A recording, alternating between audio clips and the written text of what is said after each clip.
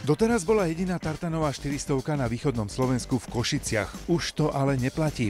Projekt budovania atletických stánkov sa dostal aj do Spišskej Novej Vsi. Nová šesť umožní okrem skvalitnenia tréningového procesu aj organizovanie špičkových slovenských súťaží.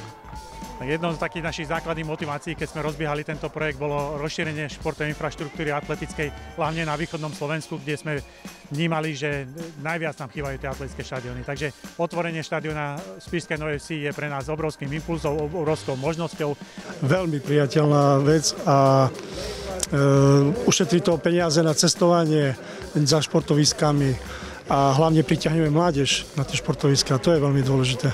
Ja verím tomu, že určite nejakí nasledovníci sa nájdú a budú pokračovať moji šľapaja a budú takisto robiť nejaké úspechy pre, pre e, novoveskú atletiku, pre slovenskú atletiku a budú aj nejaké rekordy padať. Je to neporovnateľný rozdiel trénovať na menšom štadióne 270 a tu na 400 čiže oveľa lepšie sa trénuje a dúfam, že budú aj lepšie výkony.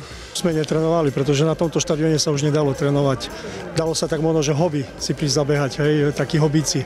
Ale ako nejak vrcholovo šport e, robiť v takýchto podmienkach nie. Ten e, štadión už e, odslúžil svoje, čo mal a že už bolo na čase ho, mu urobiť nové šaty. A tie nové šaty je tento, tento krásny povrch a ja verím tomu, že do dvoch rokov tu bude aj fungovať aj tá administratívna budova a plus e, atletický tunel športovci, ktorí sa ďal pochádzajú ako Igor Kováč, Edmund Kováč, eh, Matej Baluch, Mil Briňársky, tak myslím si, že takíto, takíto športovci sa tam rodia aj naďalej a som rád, že budeme aj pre nich môcť vytvárať dôstojné podmienky a eh, aj atleti zo západného Slovenska budú mať možnosť eh, viacej súťažiť aj na východnom Slovensku.